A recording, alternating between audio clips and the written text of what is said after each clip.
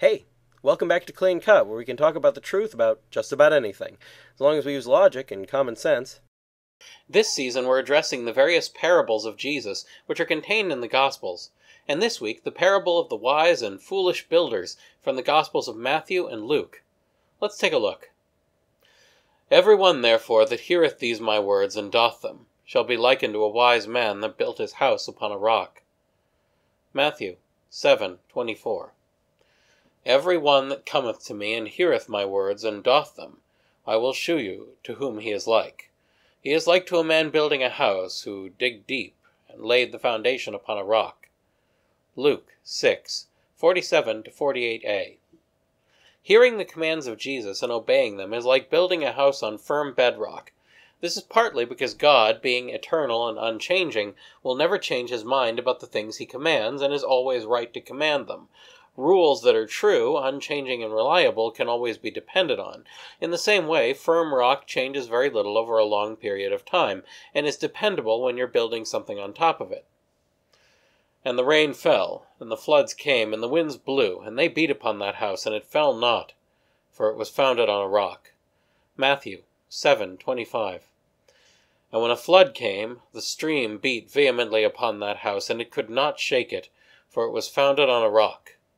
Luke 6:48b. Most of the houses in ancient Jerusalem would have been made from stone and stucco. They were easy materials to get hold of and long lasting once they were set up. However, you had to build these homes on ground that wasn't going to erode or split apart in cracks. If the ground under a stone home shifted or split, it could damage the house and maybe kill the people inside. Even in modern times, with much stronger building materials, people in areas that experience frequent earthquakes have this same problem. The steadier the ground is, the steadier the building is, and this man built on very steady ground. Winds couldn't crack it, floods and rains couldn't erode it. His house was safe. In the same way, obedience to the commands of Jesus can safeguard our souls, despite all the furious evils and temptations that the world throws at us. And every one that heareth these my words, and doth them not, shall be like a foolish man that built his house upon the sand. Matthew 7:26. But he that heareth, and doth not, is like to a man building his house upon the earth without a foundation. Luke 6:49a.